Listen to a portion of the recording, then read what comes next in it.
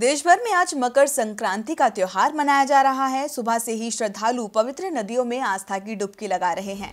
गंगा घाटों पर श्रद्धालुओं का पहुँचना जारी है। वहीं अमृतसर के स्वर्ण मंदिर में श्रद्धालुओं की भारी भीड़ है। लोग स्नान कर रहे हैं। मकर संक्रांति पर दान का भी बहुत महत्व माना जाता है। सूर्य के मकर राशि में प्रवेश करने का ये उत्सव मकर संक्रांति, भारत ही नहीं बल्कि दुनिया के भी कई देशों में मनाया जाता है। वहीं देश के अलग अलग हिस्सों में मकर संक्रांति को अलग अलग नामों से जाना जाता है। मकर संक्रांति को तमिलनाडु में पोंगल, गुजरात में उत्तरायण, पंजाब में माघी, असम में बिहू कहा जाता है। पीएम मोदी ने भी ट्वीट करके मकर संक्रांति की शुभकामनाएँ दी और कहा कि इस पावन पर्व पर सभी के जीवन में खुशहाली और संपन्नता आए।